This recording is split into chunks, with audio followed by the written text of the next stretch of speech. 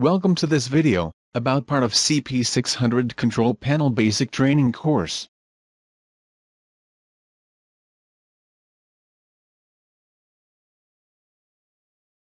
In this video, we will show you how to change permanently the real-time clock of your CP600 control panel.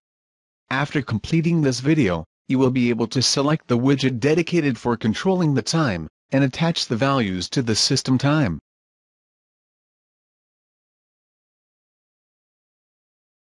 In order to change the real-time clock value from your panel, we will use a special widget available in the basic Edit Controls library.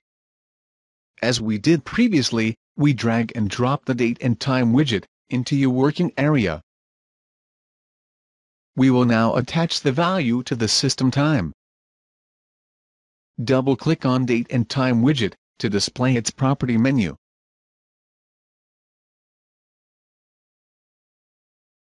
Check the System Source Radio button, and select the System Time tag in the list. Don't forget to check Read-Write option.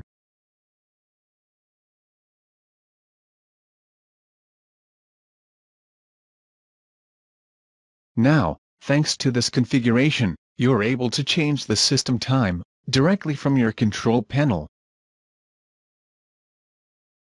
Thank you for attending this video. If you want to learn more about CP600 HMI, please use the following link. Or if you have an additional technical questions, you can contact our helpline support. For general comments and questions about this video, don't hesitate to contact us.